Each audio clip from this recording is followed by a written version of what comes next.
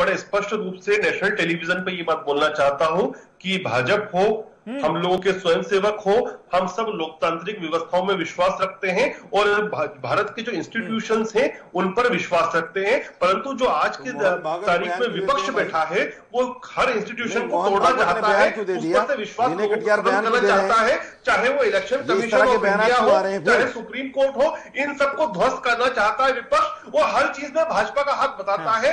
मुझे तो ये डर है कि ये तोड़ने का जो क्रम चल रहा है उसमें आखिरी जो इंस्टीट्यूशन होता है वो समाज का वो होता है फैमिली फैमिली मतलब बयानबाजी आप लोग करें। और जिम्मेदार है ऑपोजिशन दोनों सदन में बहुमत इनका। ऑपोजिशन कैसे करें हमारा हाथ है। ये नहीं कहने लग जाए ये लोग।